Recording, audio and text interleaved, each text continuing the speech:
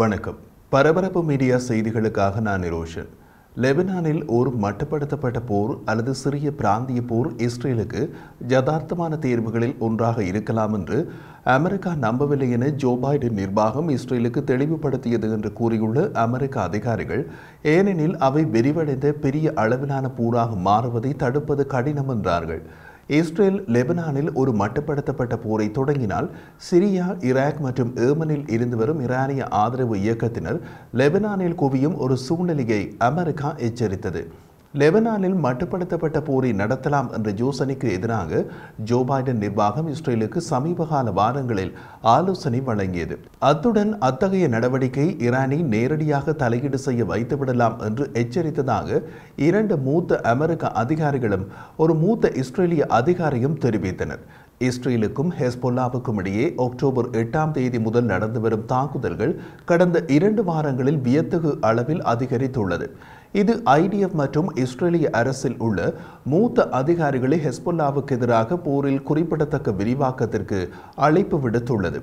ஒரு மூத்த அமெரிக்க மற்றும் இஸ்ரேலிய அதிகாரிகள் லெபனானில் நிலைமை ஒரு திருப்பு முனையை எட்டுவது குறித்து ஐடிஎஃப் மற்றும் பாதுகாப்பு அமைச்சு அதிகளவில் கவலைப்படுவதாக கூறினார்கள். அமெரிக்காவும் பிரான்சும் எல்லையில் பதட்டத்தை குறைக்க ராஜதந்திர தீர்வை காண முயற்சித்தாலும் அது இன்னமும் முன்னேற்றம் அடையவில்லை. லெபனான் மற்றும் இஸ்ரேலில் பரவலான அழிவுக்கு வழிவகுக்கும் இஸ்ரேலுக்கும் ஹெஸ்பொல்லாவுக்கும் இடையிலான ஒரு முழுமையான போரை தடுப்பது அமெரிக்காவின் நோக்கமாக உள்ளது. காசாவில் நடக்கும் போர் மிகவும் பெரிய அளவிலான பிராந்திய மோதலாக விரிவடைவதை தடுக்கும் முயற்சிகளில் ஜோ பைடன் நிர்வாகத்தின் மைய இலக்காக உள்ளது. ஆனால் அமெரிக்க முயற்சிகளை மீறி இஸ்ரேலுக்கும் ஹெஸ்பொல்லாவுக்கும் இடையே ஒரு முழு போருக்கான சாத்தியம் அதிகரித்து செல்வதை காணக்கூடியதாக உள்ளது. இஸ்ரேலின் கட்ஸ்ரின் அருகே வடக்கு கோலன் பீடபூமியிலும் கிபூட்ஸ் கடோட்டின் மேற்கு சரிவுகள் வரையிலும் பல ஏக்கர் காடுகள் மற்றும் மேய்ச்சல் நிலங்கள் தாக்குதல்களால் தீப்பற்றி கொண்டன. சமீப கால வாரங்களில் ஐடிஎஃப்பின் தாக்குதல் நடவடிக்கைகளால் ஹெஸ்பொல்லா அதிகம் பாதிக்கப்பட்டுள்ளது. பதிலடி கொடுக்க வேண்டும் பழி வாங்க வேண்டும் என்ற ஆசை அவர்களுக்குள் எரிகிறது. எனவே அவர்கள் கோலன் குன்றுகளில் இராணுவ இலக்குகளுக்கான தீவரம்பை அதிகரிக்க தேர்ந்தெடுத்தனர்.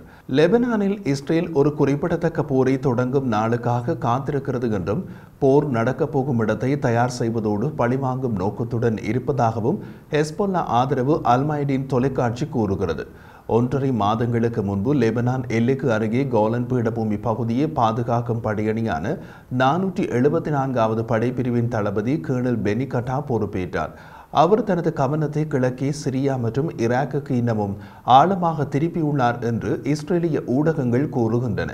சிரியா மற்றும் ஈராக்கில் உள்ள ஈரானிய ஆதரவு இயக்கங்களின் தாக்குதல்கள் திடீரென்று அதிகரிக்கும் என்று தளபதி கேர்னல் பெனிகெட்டா நம்புவதாகவும் அவர்கள் கூறுகிறார்கள்.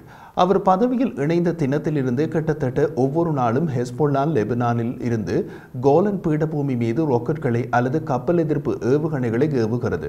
கோலன் பீடபூமியில் உள்ள எண்பது சதவீத படைகள் போர் தயார் நிலை படைப்பிரிவுகள் ஆகும் யோம் கிபூர் போரின் போதும் முதல் மற்றும் இரண்டாவது லெபனான் போர்களின் போதும் கோலன் பீடபூமி பகுதிகளில் இஸ்ரேலின் ரிசர்வ் ராணுவம் தான் அதிக எண்ணிக்கையில் இருந்தது.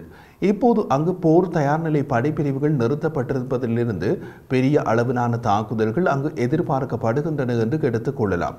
சிரியாவின் உள்நாட்டு போரின் போது ஈரானியர்கள் சிரியாவில் கணிசமான பகுதிகளை தங்கள் கட்டுப்பாட்டில் வைத்திருக்க முடிந்தது. ஆயிரக்கணக்கான ஷியா ஈரானிய இராணுவத்தினர் தமது குடும்பங்களுடன் வடக்கு மற்றும் மேற்கு ஈரானிலிருந்து சிரியாவுக்கு குடிபெயர்ந்தனர். உலக ஊடகங்களில் அவர்கள் ஈரானிய ஆதரவு இயக்கங்கள் என்று அழைக்கப்படுகிறார்கள். நடைமுறையில் அவர்கள் ஈரானிய இராணுவத்தின் இஸ்லாமிய புரட்சிகர காவலர்களின் குட்ஸ் படைப்பிரிவின் செயல்பாட்டின் கீழுள்ள ஈரானிய துருப்புகள். ஈரானிய ராணுவ அதிகாரி ஒருவர் ஈரானிய ஆதரவு இயக்கங்கள் சிரியாவில் எங்கள் கிழக்கு எல்லைக்கு அருகே இருந்தனர். சிரியாவில் யார் ஈரானிய ஆதரவு இயக்கங்கள்? யார் நிஜமான ஈரானிய ராணுவத்தின் இஸ்லாமிய புரட்சிகர காவலர் படையினர் என்பதை நாங்கள் நன்கு அறிவோம். சிரியாவின் ஈரான் மற்றும் ஹெஸ்போல்லாவின் திறன்கள் என்ன என்பதையும் நாங்கள் நன்கு அறிவோம். யார் எந்த நேரத்தில் கோலன் பீடபூமியில் தாக்குதல் நடத்துவார்கள் என்பதில் எம்மிடம் ஒரு தெளிவான கணிப்பு உள்ளது என்றார். ஒருபுறம் ஐடிஎஃப் கோலன் பீடபூமியில் தயார் நிலையை மேம்படுத்துகிறது. மறுபுறம் அங்கு மேலும் போர் பயிற்சிகளில் இஸ்ரேலிய துருப்புகளை ஈடுபடுத்துகிறது. அத்துடன் தாக்குதல்கள் மற்றும் எச்சரிக்கை ஆகிய இரண்டிற்கும் வழிமுறைகளை மேம்படுத்துகிறது. அத்துடன் கோலன் பீடபூமியில் பாதுகாப்பு ஏற்பாடுகளின் வரிசையினை மேம்படுத்துதல் மற்றும் பொறியியல் செயல்பாடுகளை மேற்கொள்வது ஆகியவையும் தீவிரமாக நடக்கின்றன. மொத்தத்தில் அமெரிக்காவின் எச்சரிக்கையினை மீறி இஸ்ரேலிய பாதுகாப்பு படை ஐடிஎஃப் லெபனான் எல்லையில் ஒரு செறிவான போருக்கு தயாராகிறது. இஸ்ரேலிய பாதுகாப்பு படை ஐடிஎஃபின் இராணுவ திட்டமிடல் தெற்கு லெபனானில் ஹெஸ்போல்லாவின் தளங்களை தாக்குவது மட்டுமல்ல. சிரியாவிலும் ஈராக்கிலும் கூட ஈரானிய ராணுவம் மற்றும் ஈரானிய ஆதரவு இயக்கத்தினரின் திறன்களை சேதப்படுத்துவதும் கூட நமது இலக்கு என்று ஐடிஎஃப் கூறுகிறது இதற்காக இஸ்ரேலிய பாதுகாப்பு படை ஐடிஎஃப் எல்லையில் மட்டுமல்லாது எல்லைக்கு உள்ளே பாதுகாப்பு பகுதிகளிலும் படைப்பிரிவுகளை நிறுத்தியுள்ளது. இஸ்ரேலிய ராணுவ அதிகாரி ஒருவர் வடக்கு இஸ்ரேலில் உள்ள நிலைமை பற்றி குறிப்பிட்ட போது கோலன் பகுதியில் வசிப்பவர்களை நாங்கள் வெளியேற்றவில்லை. எங்கள் பாதுகாப்பு ஏற்பாடுகள் கோலன் பகுதியில் மக்கள் குடியிருக்கும் இடத்தில் உள்ளது என்று கூறுகிறார். அக்டோபர் ஏழாம் தேதிக்கு பின்னர் ராணுவத்தின் எழுநூற்று நாற்பத்தி ஏழாவது படைப்பிரிவில் நாங்கள் ரிஸ்க் எடுப்பதில்லை. தாக்குதல் பாதுகாப்பு திட்டங்களுடன் கோலன் பகுதி குடியேற்றங்களில் உள்ள அனைத்து பகுதிகளையும் ராணுவத்தின் பின்புற பாதுகாப்பு அமைப்புகள் வலுப்படுத்துகின்றன. மேலும் கோலன் பீடபூமி பகுதிக்குள் ஹெஸ்போல்லா படைகள் ஊடுருவுவதை சமாளிக்கும் போர் உபகரணங்கள் தயார் நிலையில் உள்ளன. தெற்கு இஸ்ரேலில் அக்டோபர் ஏழாம் தேதி நடந்த ஹமாஸ் ஊடுருவல் போன்று ஹெஸ்பொல்லா ஊடுருவலுக்கு வாய்ப்பே இல்லாதபடி வடக்கு எல்லை பலப்படுத்தப்பட்டுள்ளது. லெபனானில் ஒரு தரை தாக்குதலுக்கு செல்வதா என்பது குறித்து அரசியல் மட்டத்தில் விரைவில் முடிவு எடுக்கப்படலாம். சமீபகால நாட்களில் வடக்கு காசாவில் ஏற்படும் அச்சுறுத்தல்களின் அளவை கொண்டு நாம் மதிப்பிட்டால் இங்கு நிச்சயமாக ஒரு போர் இருக்கும். அத்தகைய நடவடிக்கை கோலன் பீடபூமியில் இன்னமும் ஒரு போர் முன்னணியாவது திறக்கும் என்பதை ஐடிஎஃப் புரிந்து கொள்கிறது என்று தெரிவித்தார் அந்த இஸ்ரேலிய ராணுவ அதிகாரி. காசாவில் போர் தொடங்கியதில் இருந்து இஸ்ரேலும் ஹெஸ்புல்லாவும் லெபனான் எல்லையில் தாக்குதல்களை நடத்தியுள்ளனர். எல்லையின் இருபுறமும் உள்ள ஒரு லட்சத்தி ஐம்பதனாயிரத்திற்கும் மேற்பட்ட மக்கள் தங்கள் வீடுகளை விட்டு வெளியேற வேண்டிய கட்டாயத்தில் வெளியேறியுள்ளனர். அதனால் எல்லையின் இருபுறமும் காசாவில் உள்ளது போல செறிவான அளவில் பொதுமக்கள் கிடையாது. சமீப நாட்களில் தாக்குதல்களின் தீவிரம் அதிகரித்துள்ளதால் வடக்கு போர் முனையில் முழு அளவிலான போர் நிகழும் என்ற சாத்தியம் ஏற்பட்டுள்ளது. இந்த வாரம் இஸ்ரேலிய பிரதமர் பெஞ்சமின் நேத்தன்யாகு வடக்கு இஸ்ரேலில் உள்ள நகரங்களுக்கு பொதுமக்கள் திரும்புவதை உறுதி செய்ய மேலும் ராணுவ நடவடிக்கை எடுக்கப்படும் என்று அறிவித்தார். அது இஸ்ரேலின் வடக்கு எல்லை மற்றும் தெற்கு லெபனானில் ஏற்படக்கூடிய மோதலை பற்றிய சில முக்கிய கேள்விகளை எழுப்பியது. அத்துடன் இஸ்ரேலில் எந்த திசையில் செல்ல போகிறது என்பதையும் காட்டியது. ஹெஸ்போல்லாவின் தலைவர் ஹசன் நஸ்ரல்லா தனது இயக்கம் இஸ்ரேலின் படைகளை லெபனான் எல்லையில் நிலைநிறுத்த முயற்சிப்பதாகவும் அதன் மூலம் காசாவில் ஹமாஸை தாக்கும் இஸ்ரேலின் திறனை கட்டுப்படுத்துவதாகவும் கூறினார். அவரது இந்த செயற்பாடு அவரது சொந்த இயக்கத்திற்கும் தெற்கு லெபனானுக்கும் இதுவரை கணிசமான சேதங்களை ஏற்படுத்தியுள்ளது. சமீபகால மாற்றங்கள் என்ன? தெற்கு லெபனானில் இருந்து நடத்தப்பட்ட ஏவுகணை தாக்குதலுக்கு பதிலடியாக பெக்கா பள்ளத்தாக்கை தாக்கியதன் மூலம் இஸ்ரேல் லெபனானின் ஆழமான தாக்குதல்களை தொடங்கியது.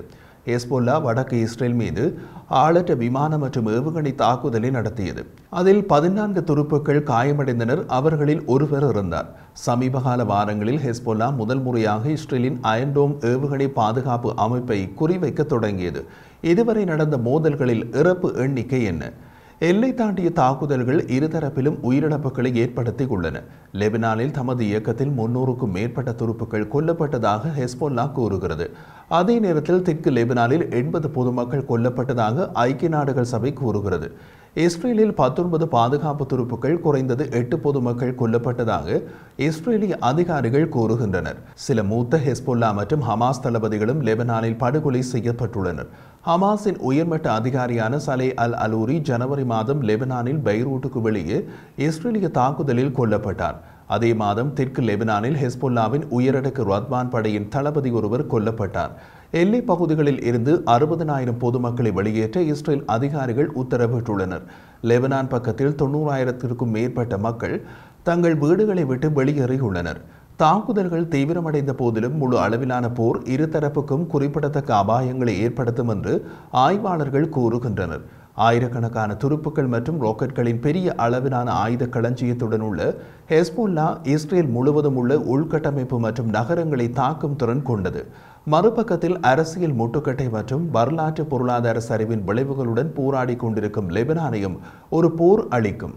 இரண்டாயிரத்தி ஆறாம் ஆண்டு போரின் போது இஸ்ரேலிய தாக்குதல்கள் லெபனான் தலைநகர் பெய்ரூட்டின் பெரிய பகுதிகளை தரைமட்டமாக்கியது மற்றும் கிட்டத்தட்ட ஒரு மில்லியன் லெபனான் பொதுமக்களை இடம்பெயர வைத்தது. ஹெஸ்பொல்லாவின் துணைத் தலைவர் ஷேக் நைம் ஹாசிம் இந்த வாரம் தாம் போரை விரிவுபடுத்த முயற்சிக்கவில்லை. ஆனால் தாக்கப்பட்டால் ஹிஸ்புல்லா போரை நடத்தும் என்று கூறினார். ஜோ பைடன் நிர்வாகம் பெரிய அளவிலான பிராந்திய போரை தடுக்கவும் இரு தரப்பையும் பேச்சுவார்த்தை மேசைக்கு கொண்டு வர முயன்றது.